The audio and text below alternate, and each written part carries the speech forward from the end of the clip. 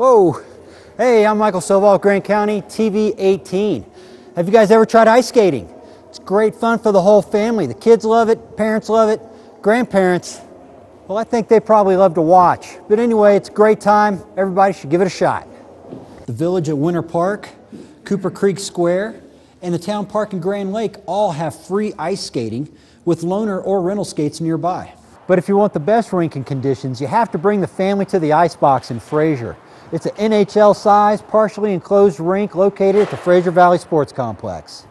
They have skate rentals and a great warming hut with hot chocolate and snacks. There's adult sessions, kids parties, hockey leagues, events.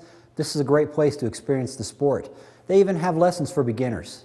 Because Icebox is a naturally frozen rink and weather does play a part in the schedule, be sure and check out the Rec Center website or give them a call for all the details and conditions.